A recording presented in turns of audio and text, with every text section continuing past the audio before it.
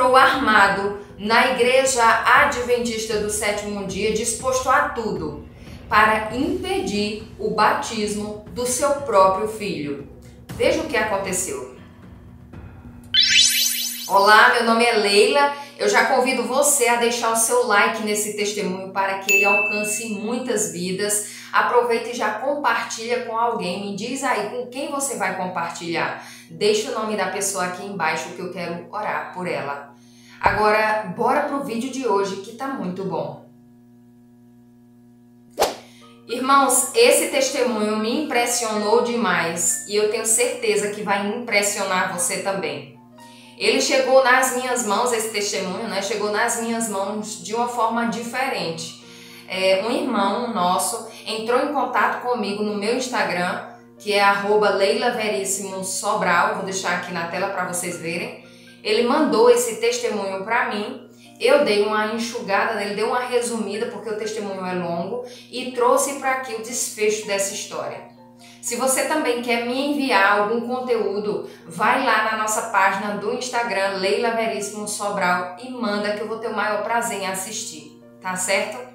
Agora, se vocês escutarem, estiverem escutando um barulho estranho no vídeo, é porque a minha caixa está enchendo, então a bomba tá, faz esse barulho, tá? Espero que não atrapalhe no vídeo porque o conteúdo de hoje está especial demais. Um homem, ele entrou na igreja adventista do sétimo dia armado com um punhal, disposto a tirar a vida de quem quer que estivesse ali naquele espaço, só para ele impedir o batismo do seu próprio filho. Bora ver comigo essa história até o final e qual foi o desfecho dela Pois é, esse homem ele invadiu a igreja adventista disposto a tudo para impedir aquele batismo. Ele entrou com um intuito: amaldiçoar o seu próprio filho e não deixar que ele fosse batizado. Ele só não sabia que o seu filho, a sua esposa e mais aquela congregação com mais de 400 membros estavam orando, viviam em oração pela sua conversão. O nome desse homem é Eduardo Santos, mais conhecido como Eduardo de Oxós, porque desde os seus 11 anos Eduardo serviu ao candomblé. Ele relata que desde pequeno foi treinado para ser frio e indiferente com as outras pessoas. Inclusive, no momento da invasão da igreja, ele disse que o seu maior intuito, além de impedir o batismo, era de amaldiçoar o seu próprio filho. Aos 13 anos, Eduardo recebeu a liderança do terreiro. Ele era o comandante da casa de Exum. Ele era o sacerdote da casa do diabo. Eduardo então cresceu formou sua família, né, casou-se, teve o seu filho, mas em nenhum momento ele deixava que sua esposa nem seu filho participassem das cerimônias de lá do terreiro, no qual ele era sacerdote. Ele sabia, ele tinha certeza que trabalhar para o inimigo, trabalhar para o diabo, não era algo muito bom. Por isso que ele não deixava que sua família participasse ali das cerimônias. Só que o filho dele, né, um jovem, ele tinha muitas amizades na cidade e começou a conhecer um grupo de desbravadores. Fez amizade e então começou a estudar a Bíblia com esses desbravadores. Ao passar do tempo, nos estudos bíblicos, ele decidiu então ser batizado na igreja Adventista do Sétimo Dia. Um orgulho para sua mãe, que já admirava muito essa igreja. Mas uma tristeza muito grande, uma decepção muito grande para o pai, que era totalmente contra esse procedimento de batismo em qualquer igreja que fosse. Mas enfim, chegou o dia do batismo, um sábado pela manhã. Eduardo conta que estava no terreiro trabalhando, quando de repente ele disse que viu se aproximando do terreiro legiões, legiões de demônios e se aproximaram dele e ele disse que não sabia do que se tratava. Até que o diabo falou ao seu ouvido que ele colocasse a roupa de guerra, porque eles iriam guerrear. Eduardo então perguntou onde seria aquela batalha e o demônio disse: Vamos entrar na igreja adventista e colocar todo mundo em possessão. Eduardo não teve dúvidas, correu e logo colocou a sua roupa de guerra, que é o traje ali de sacerdote do, da casa ali do diabo, do, dos rituais ali do candomblé. Ele colocou sua roupa e pegou um punhal de sacrifício, mais conhecido como cutelo. Ele foi decidido a tirar a vida de quem quer que fosse. Eduardo foi direcionado pelo inimigo né, até a igreja que ocorreria a invasão. Chegando lá, a igreja adventista, a mesma na qual o seu filho seria batizado naquele momento.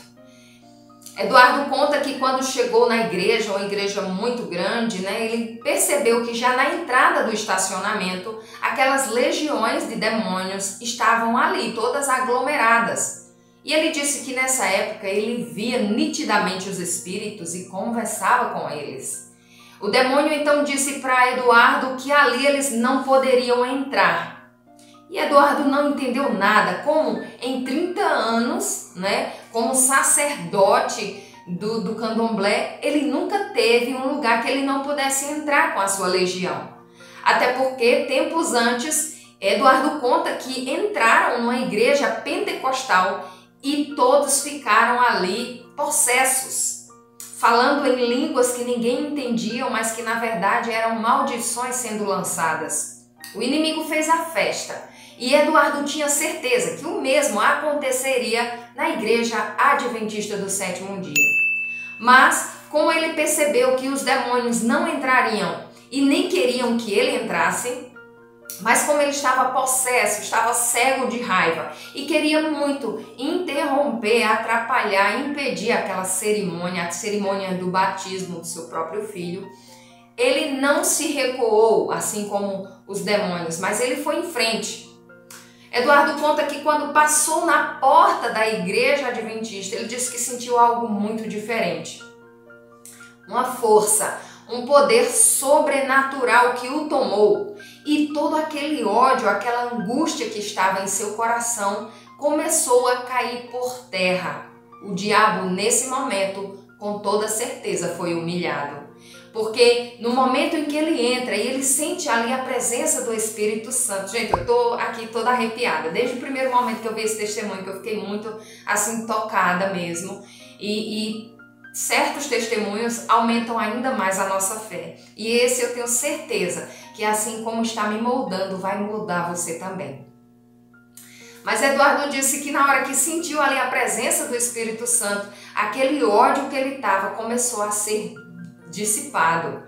Ele olha para o tanque batismal e ali está o seu filho descendo as águas, né, descendo as escadas do tanque segurado pelo pastor e aquele ódio que ele tava de querer cravar aquele punhal em todos aqueles que se aproximassem dele, que tentassem é, impedi-lo de fazer o que ele foi para fazer, aquele ódio todo caiu por terra.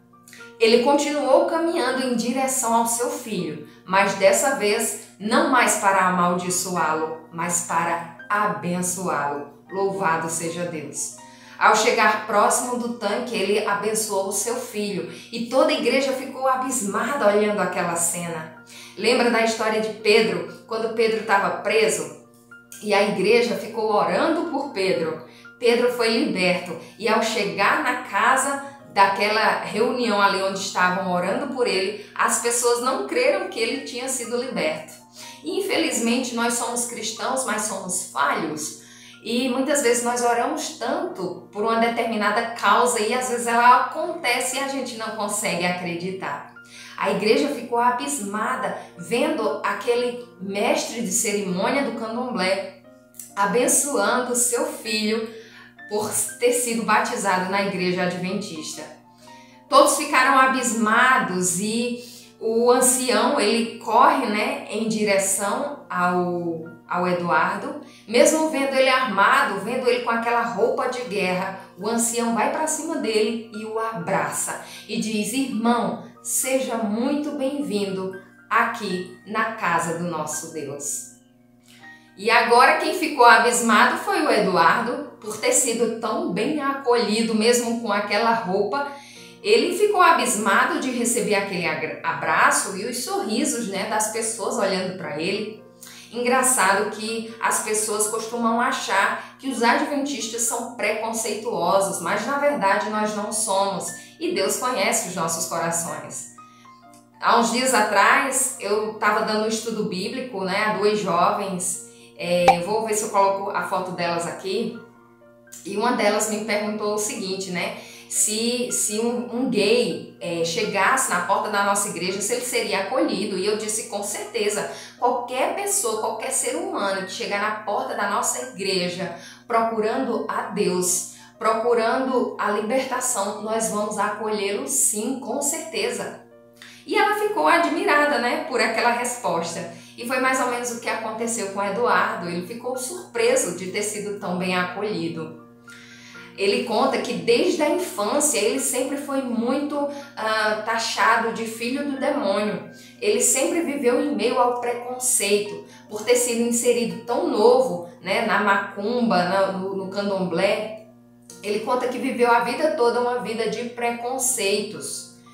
E quando ele vê aquela igreja o acolhendo, todo o mal que estava naquele homem começa a ser dissipado.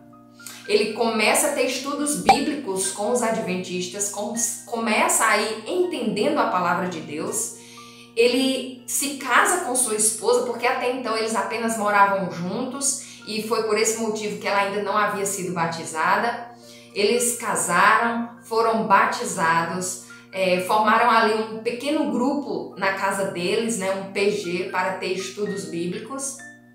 Ele começou a ser ameaçado de morte, até porque para sair do meio do candomblé não é fácil. São criados vínculos muito fortes espirituais, mas não há nada impossível para Deus. Quando ele vê que o seu filho, ele de, de fato quer ser liberto, ele usa pessoas, situações, circunstâncias o próprio poder sobrenatural é exercido na vida dessa pessoa para que de fato aconteça a libertação. Eduardo e sua esposa foram batizados na igreja adventista do sétimo dia e hoje ele se sente uma pessoa feliz, livre dos preconceitos, livre dos demônios, incitando ele a fazer sempre o mal ao próximo. Louvado seja Deus, porque esse testemunho chegou até a sua casa, chegou até os seus ouvidos no dia, no dia de hoje. Eu tenho certeza que eu vou ouvir pessoas aqui, eu vou ler comentários aqui criticando esse homem porque ele saiu do candomblé para entrar numa seita, porque ele trocou seis por meia dúzia. Eu vejo muitos comentários maldosos aqui. Mas se você é cristão e você crê de fato em Jesus Cristo, eu espero que você não seja egoísta a esse ponto de criticar esse homem de ter saído das trevas para a luz simplesmente porque ele não foi para sua denominação, não foi para sua igreja, mas ele veio para a igreja adventista do sétimo dia. Eu creio que em nome de Jesus esse homem está na verdade, esse homem está na luz. Ele está conhecendo cada vez mais a Bíblia Sagrada e o que Deus quer, que Deus nos abençoe, que nós possamos dividir esse testemunho com mais e mais pessoas, que mais irmãos venham ser libertos das garras do inimigo. Eu fico muito feliz que esse vídeo chegou até você de coração, fico muito feliz e agradeço para quem me enviou. Que Deus abençoe a tua vida, a tua casa e o teu ministério. Em nome de Jesus. Amém.